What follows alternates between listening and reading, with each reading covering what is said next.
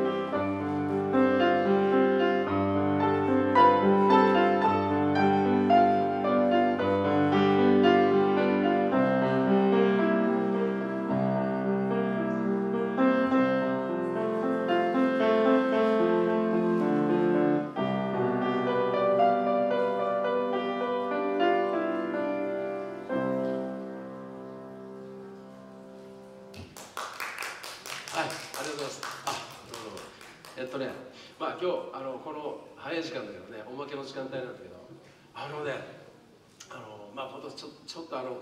話になるんだけど、えー、モーツァルト。モーツァルトっていいんだよね。本当に私もね若い頃はもう全然分からなかった。な何がいいんだろうなと思ってたんだけど年取りゃ年取るほどね分かってくるんだよね。モーツァルトってすげえなと思ってね。であの、えー、ちょっと一曲やっときたいと思いますね、えー、何いこうかな。ケッヘル332ソナタの2楽章。綺麗な曲ですから聴いてみてください。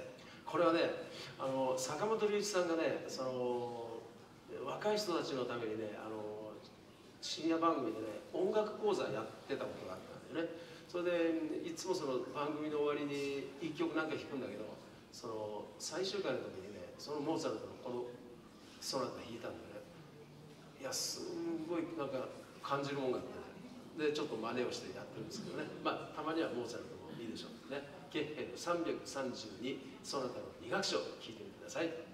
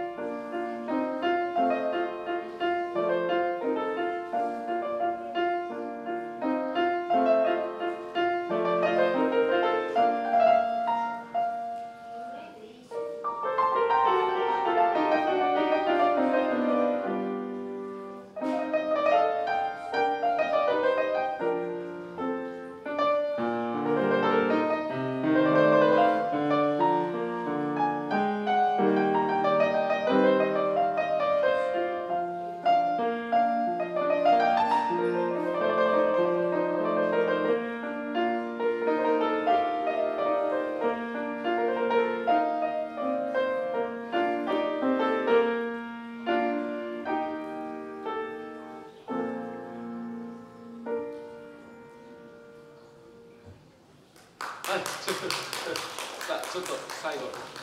さあそろそろお客様降りてきてくれましたもんね、えー、改めて挨拶したいと思います、えー、田村正香と申します。ここでねコンサートをいたします。お客様会議？会議？会議ちょっと。ね。3 4 0分ぐらいしかないからね、えー、田村正香賞です。あのー、えー、実はね音楽家なんだけど、あのー、そっくりさんをやってやり始めてね。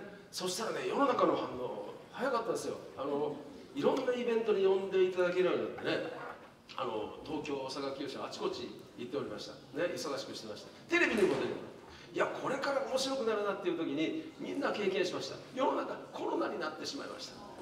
コロナになったらねもうコンサートどころじゃない。結婚披露宴だってもうなし、ね、そんな3年間だったけどね。やっとまあこれからしばらくいろんなまあオファーがちょろちょろと入ってきだしました。ね。これからまたいろいろ動けると思うんですけど。じゃあこの3年間の間で私もすごく、あの考えるところがありましてね。この私は網走に暮らしてます。この網走ホテルが近いですね。車で走ってこの間測ってみましたら7分21秒。ね。とても近いそれで、ね、このここのそのロビーを私の好きなように使わせていただいてすごく理解があるだからここで、えー、出会う出会ったお客様に田村正香を覚えていただき覚えていただいたらどうするか今 YouTube ってあるんですよね。YouTube これ。あの田村正香で検索してくれたらいいんだけどこの私の YouTube チャンネルね QR コードでプチッと喜んだら入りますからね。それで時々、見てほしいなっていうふうになります。でこれでカメラで撮って、えー、今日の録画も、えー、夜11時ぐらいになったら公開されます。毎日のようにやってます。まあ、そういうわけでね今日もまたちょっといろんな曲をやりたいと思います。さて、えー、せっかくここから、えー、見ていただけるお客様のために、えー、ピアノを1曲やってそれからあとオカリナをやっていきたいと思います。ねありがとうね、えー、さて田村正香賞楽しんでください。ちょっとの間付き合ってくださいね。よろしくお願いします。ありがとうございます。さてピアノで、えー、1曲何いこうかな。えっとねパヘルベルのカノンがいいかな、えー、やってみたいと思います。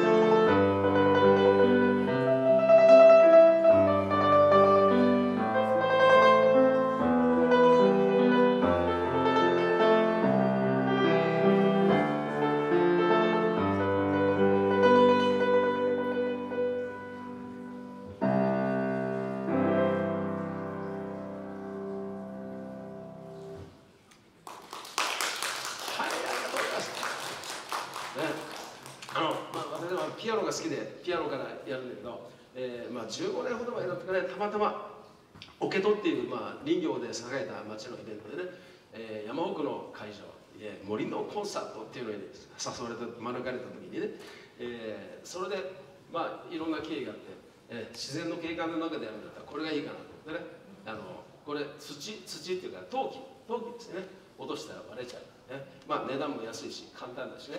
それで軽い気持ちで始めたんだけどそれがねお金の音色がいいんでしょうね。いろんな人が本当に喜んでいた。ひょっとしたらピアノより、え、喜んでいただいているようなそんな手応えを感じております。さてそしてさっき言ったその YouTube に見ていていただいているお客様それから教室に来てくれてるあの、まあ、生徒さんとかね、え、いろんな方面からリクエストをいただいてね、え、やる曲がどんどん増えてまいりました。さて、えー、ちょっと大きな自慢があってね。ここピアノ2つあるでしょ。こんなとこないですよね。このピアノ2つちゃんとやります、えー、ピアノのソロはこの大きいやつやったけどこっちでピアノ伴奏やりますね。あのオカリナ吹いてピアノ伴奏ね。手が塞がるのにどうやってやるかすごいです。手品みたいな話ですけどね、えー、私をもう一人用意していいでしょまああら不思議ってね。あら不思議ここに座らせただけで、ね、私の代わりをやってくれるんです、まあ、見ててくださいね。本当に。ちゃんと鍵盤が動いて。まあ種明かししましたらね。あの自動演奏機能がついてる。ね。あらかじめ私が伴奏を弾いてる、ね、そしたらその弾いた通りにだからすごいですよ。贅沢ですよ。生の伴奏に乗せて。だからもうカラオケじゃないんだからね。生伴奏。ね。さあ聴いてください。えー、っとねこれからいきましょうかね。ようこそ北海道へ。北の国から。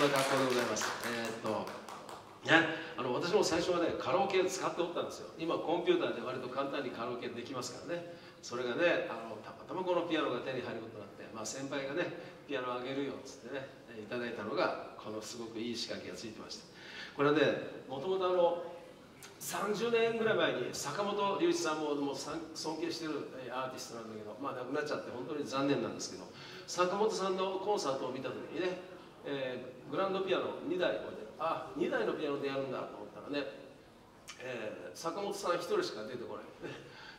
坂本さんが一人で座ってでもちゃんと2台のピアノ動いてるんだよね。まあはあこの人はこういうことやるんだと思ってねあの、まあ、自動演奏機能を組み込んで要するにあらかじめもう一もう一台のピアノは自分で弾いてあるんですね。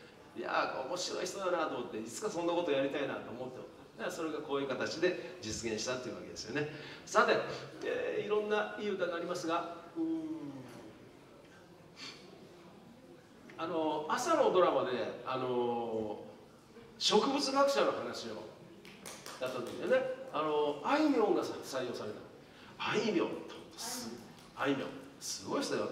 だってねあの何がすごいってね私のような年になるとね若い人たちが何をやってるかってこの人が誰か全然分かんない。興味もないしね。ところがねあいみょんだけは才能をめちゃくちゃ感じたよね。あのこの「愛の花」っていうのを今やるんだけど、えー、A メロ B メロ C メロね。まあ、まあ、まあ、ABC のメロディーがあってそれが普通1番2番3番ね、あの繰り返されていくんだけど彼女が何がすごいってね1番より2番の方がそのフレーズが長くなるね。そんなことはしないです。あのまあ歌詞が大事なんだろうね。だからあのそんな作り方っていうのはねあの普通の音楽の作り方じゃなくてあの歌劇オペラ、ね、オペラの世界の作り方なんだよね。やっぱり天才っていうのは考えることが違うなと思って、まあまあそんなことですごい才能を感じたんですけど。まあいいいい曲です「愛の花」やってみたいと思います。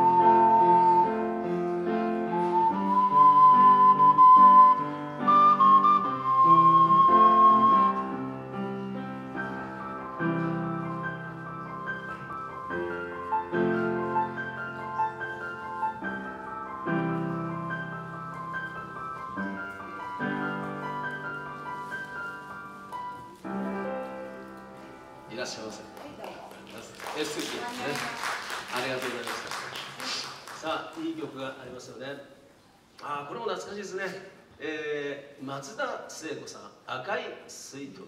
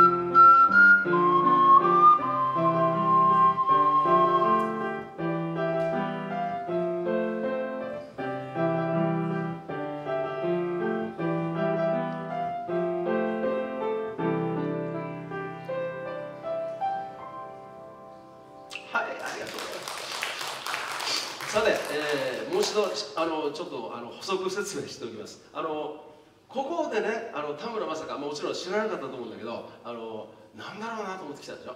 モノマネショーかな？モノマネショーなんです。だけどねあの考えてみたら私はねあの田村正和さんのモノマネしかしない。で考えてみてください。田村正和さん口数少ないです、ね、それから、え歌うわけじゃなし踊るわけじゃなし話題のあの古畑任三郎。うん終わりです。いい1分終わっちゃうだからね大変なんです。ただ私はねたまたま音楽家だからシナリオ新しいシナリオでね、えー、古畑任三郎は刑事役をやったんでね。殺人家の刑事家刑事役。じゃあ今度はですねここのショーではシナリオとして田村正あ誰田村正和さんが、えー、っとえー、音楽家だったらね、そういうふうに見ていただくと2倍美味しいですからね。座って考えてみてくださいね、まあ、そういうわけで、えー、オカリナの演奏を続けたいと思います。さてうんとね、えー、あこれもいい歌ですね。また朝ドラなんだけど昔「ゲゲゲの女房」って覚えてね。ゲゲゲゲゲゲゲゲゲの女房。ねえっとありがとうってね歌があったんだよね。あれすごくいい歌なんだよね。これねいろんな方面からリクエストいただいてるな。だからそれがありがたいですよね。こうやっていろんなレパートリーが増えていったんですね。まあありがとう。やってみたいと思います「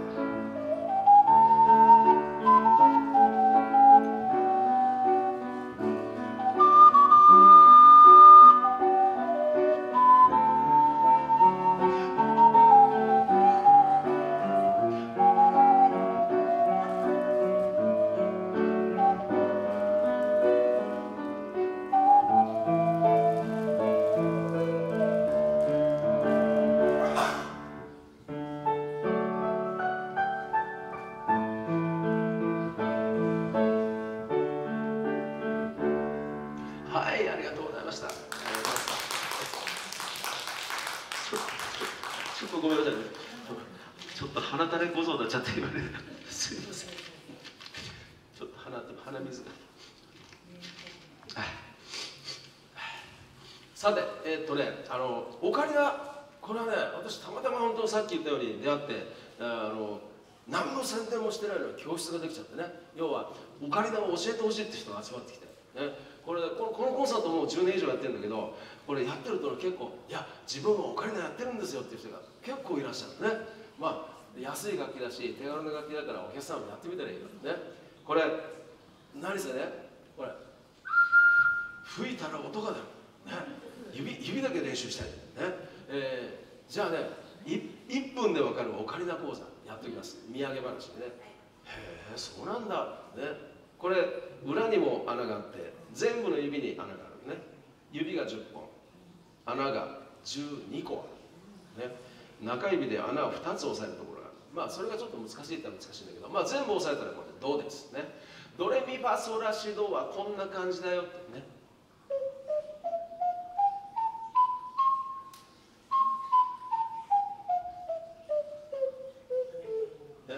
あの順番になってんだよね。あ覚えるまでもねへえそんな簡単な話だったの。早く言ってよ。そんな感じでだからお客様やってみたらいいよね。それであの、えー、なんていうんですかね楽器屋さんに行ったらね7000円ぐらいで売って。ね私のお金でいい音するでしょ？ね何十万円するんだろう？ね1万円。ね本当にだからねその楽器屋さん行ってね言ってみたらいいよ私お金ありますから高いやつ見せてくださいってね。高いやつ。もうお金ありますから。ねそれでも3万円ぐらい。そんな楽器なかなかないよ本当に。ギターだってねそこそこ使えるとまた3万円ぐらいでね。このピアノ今調べてみたら 1, 1個250万円でしょ。ね。すごいよね。このちっちゃいやつさえね今買おうとしたら130万円でしょ。いやお金さえあればねピアノ買える買えるけどね問題なのは弾きこなすこと。ね。一般的な私たちはねそのちゃんと人前でちゃんと弾いてそれだけでお金もらおうと思ったらね最低100年ぐらい練習しなきゃいけない。できたら150年ぐらい練習すれば OK です、ね、体が持ちません。中にはね才能のある人はね3歳ぐらいでパラパラパラってやる人いますけどそれはもう特別な人ですね。天才ですね。だからこのオカリナがいいのは23日頑張ったらふるさとぐらい吹ける、ね、それはもう私あのあの教室やってて今70人ぐらいその受講生。受講生とは言いません。私はもう大事な大事な檀家さんって呼んでる。その檀家さんとこね月曜日から土曜日まで檀家さん回ってるんでね。檀家さんとこもあるでしょ？お布施いただいてくる。ありがたいよね。お客さんもね近くにねあの教室があると思うからやってみたらいいよ、ね、で教室が気に食わなかったらねあの私の教室こういうね1回来たら2000円だから、ね、ちょっと飛行機代かかるかもしれませんけどね。飛行機代はお客さんの負担でお願いいたします。網走やってるこのこの近くで言ったら分かるかな？網走津別北見。ルベシレクンネップえー、っとあポケットはねクンネップに来てもらってるね。ポケットポケットもねいいよ。いいいいよ。あの音楽の街なんあそうそう。ポケットのねあの蕎麦屋さん稲田屋さん。稲田の西島さん。あの人が企画してあの森のコンサートってやってた。やってる今でもやってると思うんだけどそれに呼ばれた時にねギター持っていこうかピアノ持っていこうかって。いやそんな普通のダメだって言われて 何だったらいいの？っていや前はね尺八とかやったんだへえそうなんだ。と思って考えたらこれが浮かんだあこれ安いし簡単だしこれがいいやと。だから西島社長のおかげなんだよね。ほんで西島社長に後年ねえー、社長のおかげなんだよって言ったってへえ分かってないんだ本人。本当にまあいい人ですねすごくね、えー、ありがとうございますまあ本当に身近な話しちゃいました。えっとね、えー、あの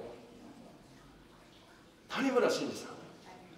谷村新司さんが亡くなっちゃった。もう若いのにねなんでこんないい人ばっかり先亡くなるかな。本当にね悪い人がいっぱい残ってるわけですよ。いやまあそんなことないんだけど。あの谷村新司さんの曲をやってくださいっていう話をいい日旅立ちやっていきたいと思います。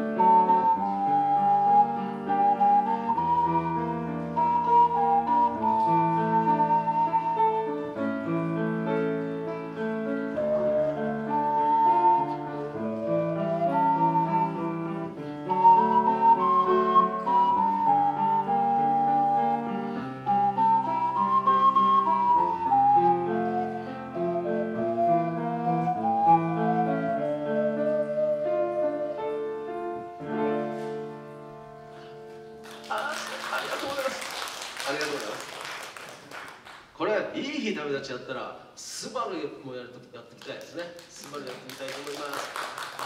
あありがとうございます。これこれで本当にこういう反応拍手本当にありがたいんだよ。なんでありがたいかって言ったらねあのここロビーでしょ？ロビーどんな人が来てもいいわけ。音楽なんかもうヘッドも持ってない人も来るわけ。だからあちこち会議してるわけね。あの会議しないでくれよこの時間帯ぐらいってね。もう聞く気全然やらしない。で聞く気ないだけではいいんだけど邪魔するんだよね本当にもうやめてくれよって言うんだけどしょうがないね。誰が来てもいいんだだからこれだけのお客さんがねこっち向いて聞いてくれてるっていうのは実はすごいことなんだよ。これは何かって言ったら人本当にただ一つお客様に聞く能力があると。いや本当そうなの。これ能力だからね。分からんやつは分かんないんだよ本当に。あのなんていうのかな。まあむあの虫の居所が悪いのかもしれないけどもね。分からんやつには分からん。だからあのなんぼ栄養を送ったって栄養にならない、ね、だから本当にこうやって聞いてくれる人にはビンビンと栄養になってるねさっきあのモーツァルトもやったけどモーツァルトなんかやったらね。ねあの本当元気になるっていう話もあるからトマトだって元気になるからね。とモーツァルト聞かせたらね。まあ、まあ、いいんだけど余計な話だね。まあ本当にありがとう。あもう嬉しいです。えー、スバル、えー、名曲ですね。ねよいしょ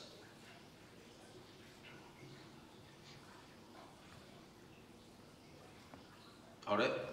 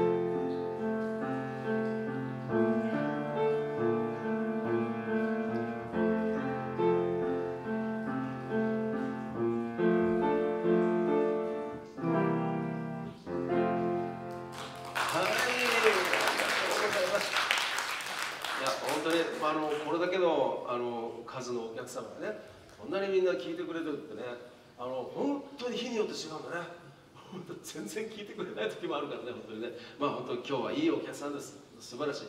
試験受けてきたんだね。試験に合格してきたなどいや本当本当それそれぐらい違うんだよ。いや本当にありがとう。感謝の気持ちを込めて。まあ本当にずっとやりたいんだけど本当は5時間ぐらいやりたいんだけどあと5分しかないんだよね。本当にすみませんね、えー、残った時間はちょびっとコマーシャルタイム。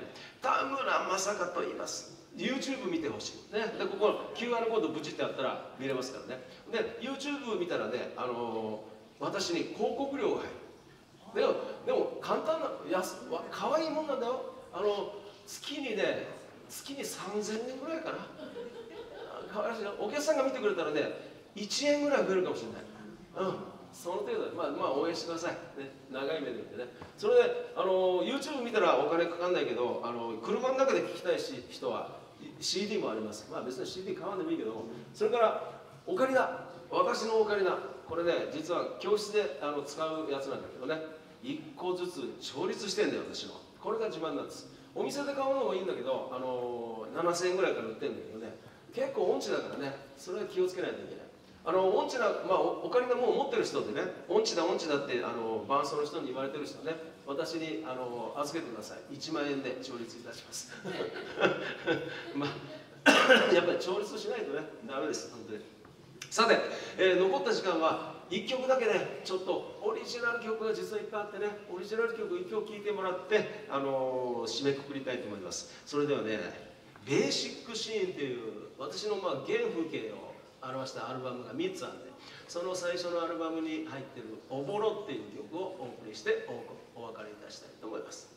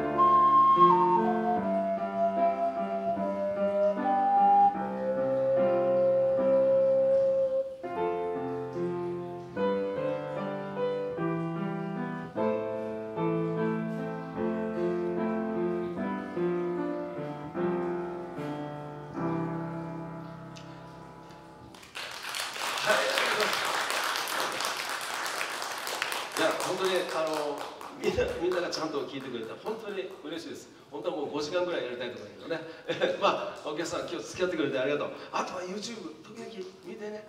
4年に1回ぐらいでいいからね。ありがとうございました。田村でした。